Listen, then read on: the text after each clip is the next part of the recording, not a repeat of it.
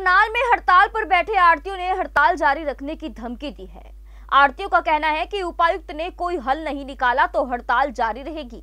आपको बता दें कि आड़ती अपनी मांगों को लेकर हड़ताल पर बैठे हुए हैं, जिसको लेकर करनाल उपायुक्त निशांत कुमार यादव ने अनाज मंडी करनाल के आड़तियों के साथ मीटिंग की। लेकिन उपायुक्त के मीटिंग लेने के बाद भी आरती शांत नहीं हुए। आड़तियों ने कहा कि सरकार ने उनकी एक भी मांग नहीं मानी है उपायुक्त निशांत कुमार यादव का कहना है कि गेहूँ की खरीद को लेकर पहले करनाल ज़िले में तेईस के आसपास केंद्र बनते थे। लेकिन इस बार लॉकडाउन को देखते हुए किसानों को परेशानी ना हो, इसके चलते एक गेहूँ खरीद केंद्र बनाए गए हैं, जहाँ पर 20 अप्रैल से गेहूँ की खरीद शुरू हो जाएगी। सामाजिक दूरी का ध्यान रखा जाएगा। साथ ही साथ किसानों को मास्क और सैनिटाइजर दिए जाएँगे और लॉकडाउन के नियमों का उल्लंघन ना हो, इस बात का पूरा ध्यान रखा जाएगा। हमने शेल्टर होम में रहने वाले मजदूरों से भी बात की है। अगर कोई मंडी में गेहूँ की खरीद के वक्त काम करता है तो उसे काम भी दिया जाएगा और उसके बदले में उचित मजदूरी भी दी जाएगी। साथ ही साथ उन किसानों के लिए बाद में एक दिन निर्धारित किया जाएगा, जिनकी ज़मीन यमुना नदी के उस पार पड़ती है। उसी दिन उनकी गेहूँ की खरीद की जाएगी। रजनीश चौधरी, मंडी जिला प्रधान ने बताया कि डीसी के साथ मीटिंग हुई है। अभी सरकार ने उनकी एक शर्त नहीं मानी।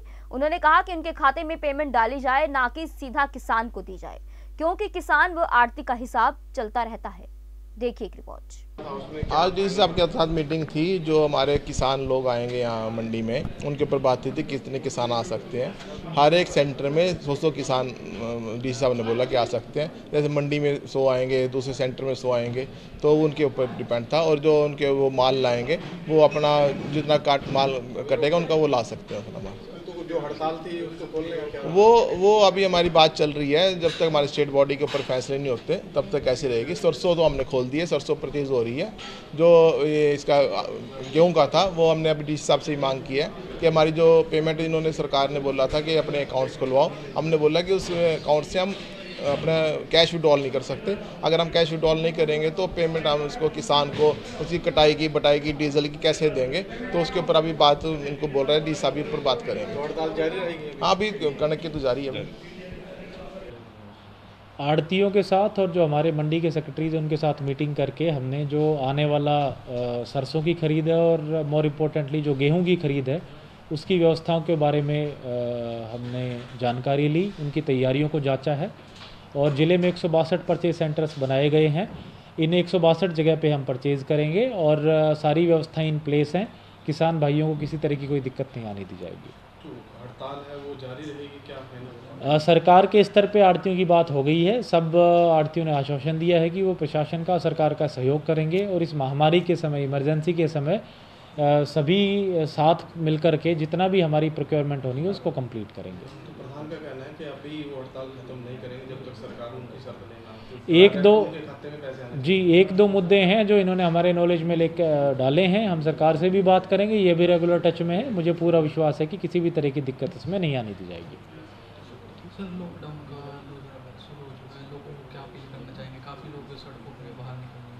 देखिए, मैं यही कहूँगा, बताना चाहूँगा कि 20 तारीख तक तो जो लॉकडाउन की शर्तें और नियम व्यवस्थाएँ बनी हैं, वो इसी तरह से चालू रहेंगी। बीस तारीख ऑनवर्ड्स कुछ चीज़ों में छूट दी जाएगी। वो प्रशासन का जो है दो तीन दिन पहले डिटेल में उसकी व्यवस्थाएँ बता दी जाएँगी। जो छूट दी जाएँगी, वो मेन जो है, उनका उद्देश्य है वो ग्रामीण क्षेत्रों में ताकि बेरोज़गारी ना बढ़े और वहाँ जो रोज़गार के अवसर उत्पन्न हो उस बारे में है तो जितनी भी ग्रामीण क्षेत्रों में व्यवसायिक गतिविधियाँ हैं इंडस्ट्रियल गतिविधियाँ हैं वो अलाउ की जाएँगी। उस बारे में जिला प्रशासन के द्वारा डिटेल्ड जो गाइडलाइंस हैं और जो नॉर्म्स हैं वो सूचित करवा दिए जाएँगे। सरसों की खरीद हमारी कल से शुरू हो गई है। हमारे 2400 किसान हैं ज़िले में जो सरसों बेचेंगे और घरोंडा और इंद्री दो सेंटर बनाए गए हैं। मैंने आज खुद घरोंडा जाकर के सरसों की खरीद का निरीक्षण किया। परचेज पूरी शांतिपूर्वक ढंग से व्यवस्थित तरीके से चल रही है और हमारी कोशिश रहेगी कि 19 तारीख तक ज़्यादा से ज़्यादा परचेज कंप्लीट कर लें। ऐसे ही लेटेस्ट खबरें पाने के लिए बेल आइकन को क्लिक कर हमारे चैनल को लाइक शेयर एंड सब्सक्राइब करें। धन्यवाद। JBD Banquets लाए हैं incredible marriage palace Rajgharana and the finest banquet hall Jyoti Garden World class catering, centrally air conditioned, lush green lawns, state of the art lighting. A perfect venue for wedding, launching and parties. Rajgharana and Jyoti Garden at JBD Banquets Enterprise.